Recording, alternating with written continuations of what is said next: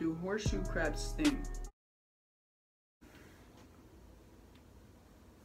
What? Do. Bruh, of course. Let me just. You know what, bro? Of... What?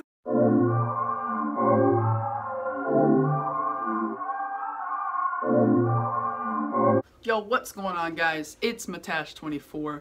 Now, I'm about tired of these dumbass people getting trending, trending off of some dumbass shit, bro. Literally, this dude by the name of Brave Wilderness, they make a, a video called Do Horseshoe Crabs Even Sting?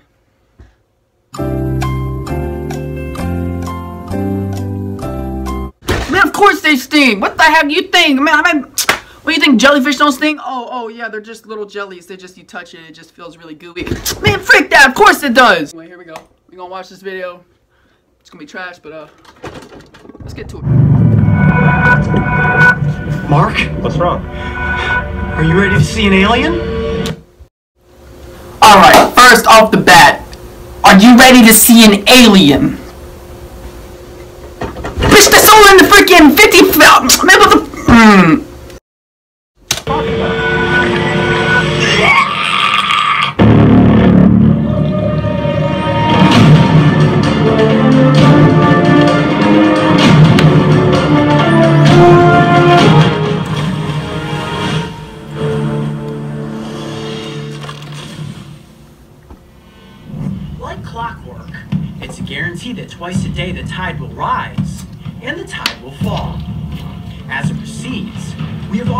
an incredible world of underwater marine animals become temporarily exposed, allowing any curious adventurer the opportunity to find and admire all sorts of bizarre creatures. In Harpswell, Maine, we came across one animal that we have been hoping to feature on Beyond the Tide since the series launched. But before we get to that alien-looking water beast, let's take a look at something that is going to make your skin crawl. Dude, Mark, come here, check this out. What, man? A freaking tree? Whoa!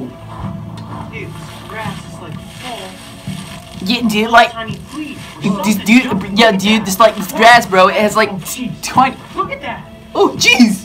Listen!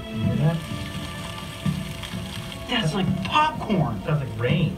I think those are sand fleas. Let me grab one. Any bite?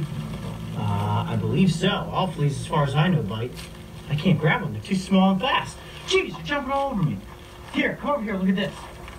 Let me check this grass. This might be better. What the hell? Point your camera down right here. This is the exact same sort of seaweed, dried up seaweed substrate. Oh, I see. Look at that. I just stepped on them, and they're everywhere. Watch. Ready? Yeah. One, two. Oh my gosh! Look at that! What? Put my hand in there? All right. All right. Here, let me. Put your hand. Peel back some more. White people, bro. Hey. White dumb people. All right, I'm not saying all white people, bro, but like. Uh, but like, uh, that feels really weird. Oh no, dude. They're just jumping on me. Here, let me peel back this a little bit more. Ew. Look at that. There are millions of them. Oh gosh, that's crazy. Oh, bro, my mom would have a fit, bro. This.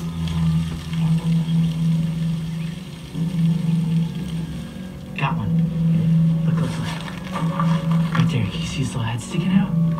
I believe that's a sand flea. Whoa, that is creepy. All right, note to self: don't lay on this beach. I'm just gonna disperse some of this dead seaweed back out and cover up the sand flea city. I've never seen anything like that. Ah, bro, no, no. Get some gas. Get some freaking fire. All right, let's head this And burn that shit, bro. and See what else we can do. Disgusting.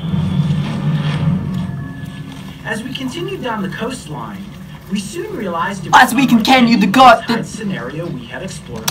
As we continue the go coastline, you can see the. Oh my God! It's an alligator!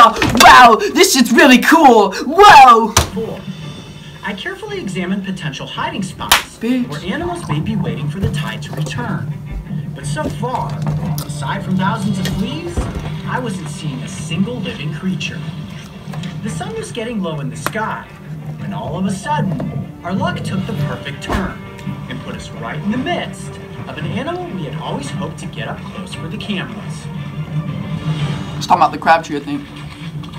That crab thing, whatever it's called. Oh, no, the horseshoe crab! It's a turtle! Look at this! Wow! Gonna put this on film. Oh, it is alive! Look at that! Yes. Wow, I thought that was a turtle! Oh my gosh, I just saw the look Wow! of the carapace! Alright, let's do this. I'm gonna gently lift it up out of the grasses here. Let's see. Oh, it's strong! Look at that!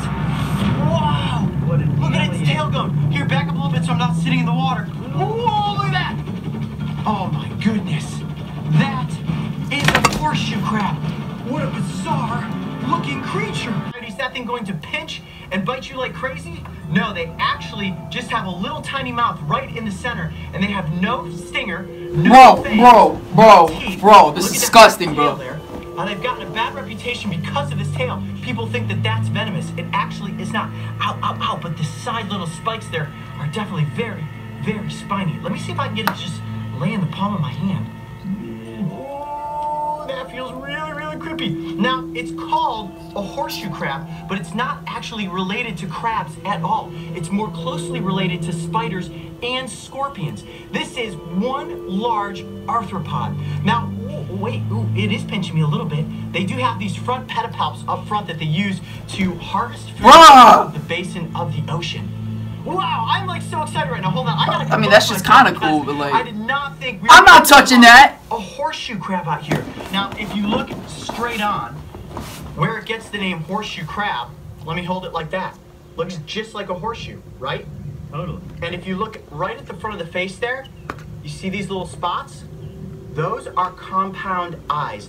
Crab Actually, eyes. This animal has nine eyes in total. The two right here, five light sensing eyes. Nine eyes, bro, Carapace, what the- And then on the underside, two simple eyes that they actually use to kind of sense their environment. And scientists think that the eyes on the underside are actually just left over from when they were in a larva stage. So wait, those are eyes on the top of that? Yes, and it actually it looks like a face, doesn't it? You see that? I always thought that that was just like a helmet, like a shell protection. Well, the top of this animal is called the carapace. Just like a lot of other arthropod species, this is a very dense, hell? very hard exoskeleton. They don't actually have an endoskeleton, you know, bones and cartilage like a human. That's disgusting. side, look at that. Looks just like a scorpion or a spider.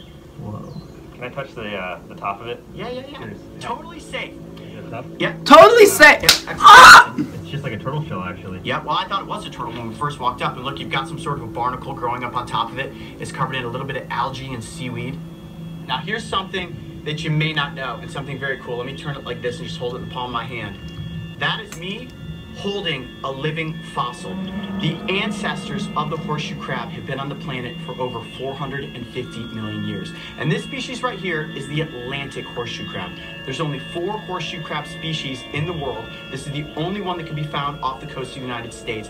And this one specifically, this design, the Atlantic horseshoe crab, has not changed in over 230 million years. That dates back to the Triassic period. So this creature was crawling around on the basin of the ocean during the time of the dinosaurs. How cool is that? Now they do get quite a bit bigger than this. Should've called it a stingray. The female. The females are about Thing looks like a stingray underwater. larger than the males. Wow, it's almost impossible to hold on to. Look at the underside. It does look like a stinger. It does, and that's why people are afraid of these things. They think that they're gonna get stung. Look at this. No, this tail is actually just used like a rudder. Although it does have all these barbs, it's very intimidating, but it cannot hurt you at all. In fact, if a horseshoe crab gets flipped on its back like that, see it tries to right itself up, it actually can't. And that's a big misnomer that these arthropods are capable of flipping themselves back over. There's actually a conservation effort that was launched uh, in the 80s called Just Flip 'em. And the Just Flip 'em concept is that if you're walking down the beach and you see a horseshoe crab that's flipped on its back like this from like a crashing of a wave, what you're supposed to do is just gently grab the carapace and flip it right side up. Now you don't want to pick it up by its tail because you can actually injure the animal if you hold it like that. Look at that, Mark, it's coming right towards you. Oh man. Do they ever come on land for anything, or are they uh, purely aquatic? Well, between June Just get to the part if it can sting you, bro. to Shore to breed, and the way that they do that is the female will kind of nestle down in the rocks, and the male will come in and latch himself onto the back of the female. Horseshoe crabs can breathe underwater or out of the water because a lot of the time when breeding's taking place, sometimes they're caught as the tide goes out too quickly and they can actually breathe air. Wow. I have really wanted to feature a horseshoe crab on Beyond the Tide, and it's kind of being in the right place at the right time that we came across one of these giants. Look at that thing. It's as big as my face is. Whoa, I do have to watch out for that tail though. I don't want to get stabbed in the eye by it. Well, how cool was this? Coming across one of the most bizarre creatures you can ever stumble upon in the tide pools, the horseshoe crab. I'm Coyote Peterson. Be brave. Stay wild. We'll see you on the next. Yo, no, no, bro. I'm good. I'm good. I'm good. I don't even know why. Let, us just see how many they got. Let me just see how many subscribers they got real quick.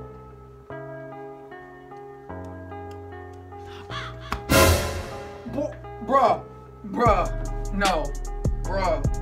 7.1. Who watches this, man? What? Yo guys, that was this video. I hope you all enjoyed. If you did, please leave a like, comment, and subscribe for more content. And I will see you all in the next video. Peace.